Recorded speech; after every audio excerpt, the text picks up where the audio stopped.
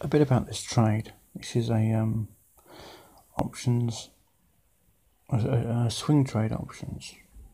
And swing trade is just basically that um, had the, if you look at there, you see the 2055, had the trade have been closed before the close, the, had it been bought that particular day, which would have been the, you see the 5th or the 20th, which is the 20th of the 5th, because it's in the States, the other way around. So it's 20th of May 2020.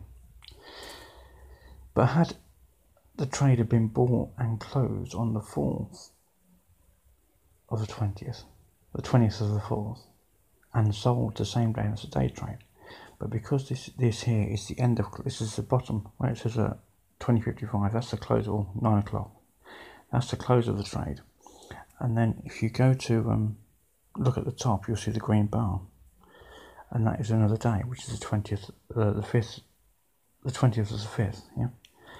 And all that happened is just that that's where the market opened, and it opened up there. I class that as actually getting in the lift, effectively, in day trading.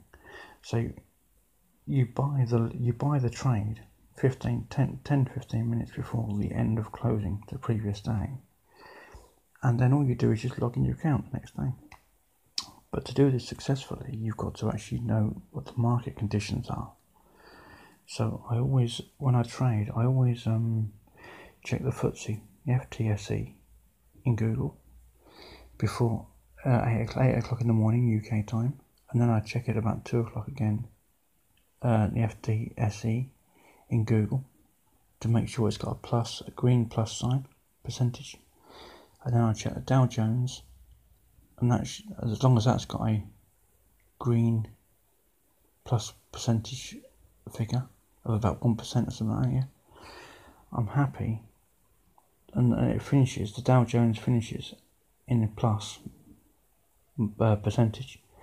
I'm happy to actually buy the trade 10 15 minutes before the end of the trading and then I usually know that it's usually it will actually always go up if it's a minus red figure all day long in the four times you check the, the two times the FTSE and the two times Dow Jones, chances are it will usually open down the same distance down, which means, means you've lost money. In this case, you've made money instantly. Otherwise, you have to. But you only need to really trade for. As you see, a lot of professional uh, traders they trade for an hour. I like to trade for an hour and a half, which is usually an hour and a half after the stock market, and then I get an idea as to whether the stock is going to the the stock will actually um that you, you whatever trade you're in will either go up, down, or stay roughly where it is. And so most traders are usually in and out of in and out of they've done all the trading within the first hour and a half, and that's it. And then they close they, they close their positions or leave the positions open. That's trading.